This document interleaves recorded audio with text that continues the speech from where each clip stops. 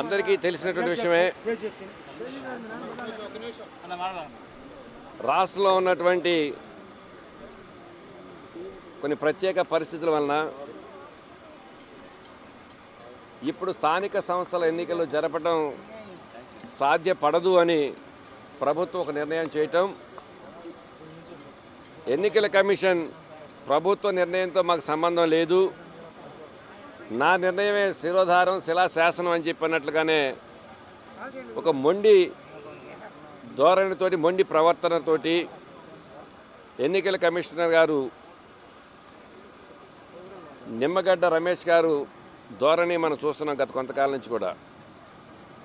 సహజంగా ఏ ఎన్నికల కమిషన్ అయినప్పటికి కూడాను రా ఒక ఎన్నికలకు సంబంధించి ప్రజలకు ముందుకు వెళ్ళాలనుకున్నప్పుడు ప్రభుత్వంతో సంప్రదింపులు జరిపి రాష్ట్రంలో ఎన్నికలు నిర్వహించడానికి అవసరమైనటువంటి సానుకూల వాతావరణం ఉందా లేదా అని తెలుసుకుని తదనుగుణంగా నిర్ణయాలు తీసుకోవటం అనేటువంటిది మనం ఎంతో కాలం చూస్తున్నాం.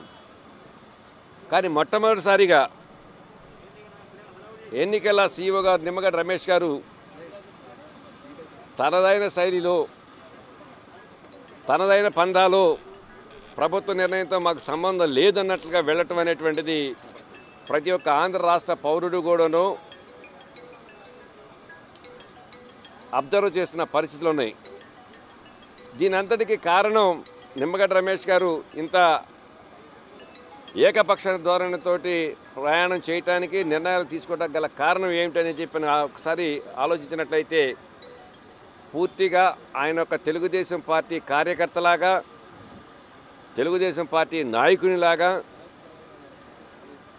తెలుగుదేశం పార్టీ ఆఫీస్ నుంచి వస్తున్నటువంటి స్క్రిప్ట్ని మీడియా ముందుంచుతూ దానికి అనుగుణంగానే నిర్ణయాలు తీసుకుంటూ ఆ దిశగానే ప్రయాణం చేస్తున్న పరిస్థితులు ఉన్నాయి.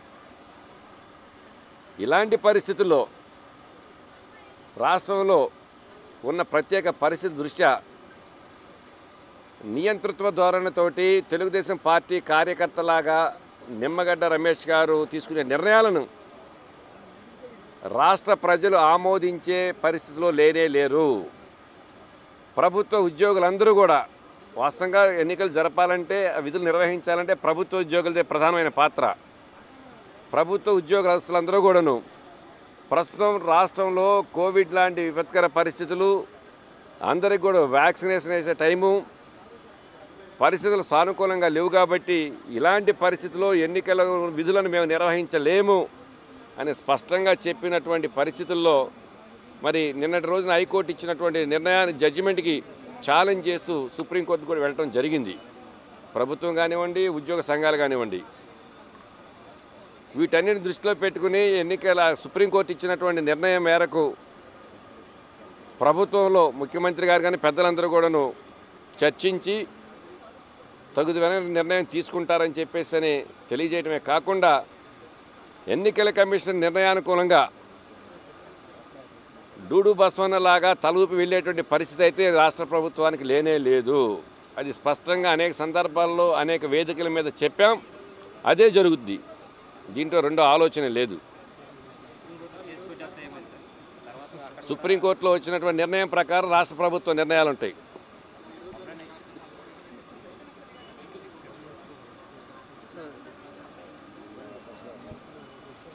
ఇప్పుడు గత కొంతకాలం జగన్మోహన్ రెడ్డి గారు ముఖ్యమంత్రి అయిన దగ్గర నుంచి కూడా ఈ సంవత్సరాల కాలంలో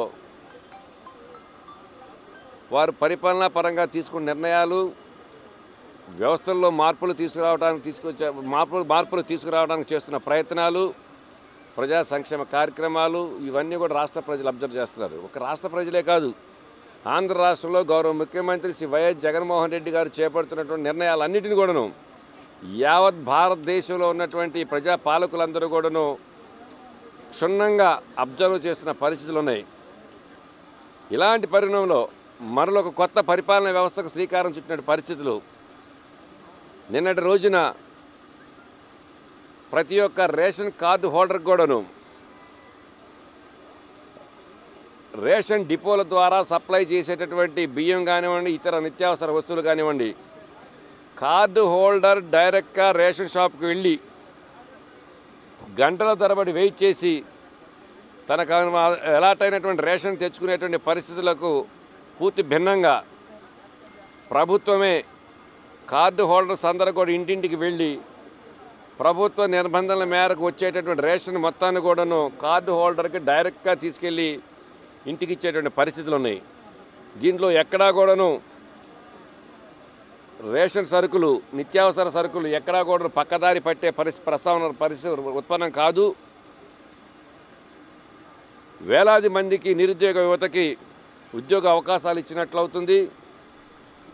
ఇంతటి చక్కటి కార్యక్రమం బహుశా భారతదేశంలో ఇదో కొత్త అధ్యాయానికి శ్రీకారం చుట్టిన పరిస్థితులు ఉన్నాయి వాలంటరీ వ్యవస్థ ద్వారా ఎట్లయితే పెన్షన్దారులందరికీ కూడాను ఒకటో తేదీ వచ్చిన ఒకటో తేదీ రావటంగానే ఉదయం ఐదు గంటలకే వాళ్ళ ఇంటి దగ్గరికి వెళ్ళి పెన్షన్దారులకు పెన్షన్స్ వాలంటీర్లు ఏ విధంగా అయితే సప్లై ఇస్తున్నారో డెలివరీ ఇస్తున్నారో అదేవిధంగా ఒకటవ తేదీ నుంచి పదిహేనవ తేదీలోపు ఈ వెహికల్స్ ద్వారా నిన్న ముఖ్యమంత్రి గారు ప్రారంభించినటువంటి ఈ వాహనాల ద్వారా ప్రతి ఒక్క వ్యక్తి ప్రతి ఒక్క రేషన్ కార్డు హోల్డర్ కూడాను ఇంటికి తీసుకుని వెళ్ళి సప్ సరుకులు సప్లై చేయడం జరుగుతుంది కాబట్టి తప్పనిసరిగా రానున్న రోజుల్లో వాలంటరీ వ్యవస్థ కానివ్వండి ఇన్ని లక్షల మందికి ఇలా పట్టాలు ఇచ్చే కార్యక్రమం కానివ్వండి సచివాలయ వ్యవస్థ కానివ్వండి ఇప్పుడు కొత్తగా డోర్ డెలివరీ సిస్టమ్ పెట్టినట్టు ప్రవేశపెట్టినటువంటి పథకం కానివ్వండి ఇవన్నీ కూడా యావత్ భారతదేశంలో ప్రతి ఒక్క ముఖ్యమంత్రి తప్పనిసరిగా అమలు జరుపుతారు అమలు జరిపి తీరుతారు.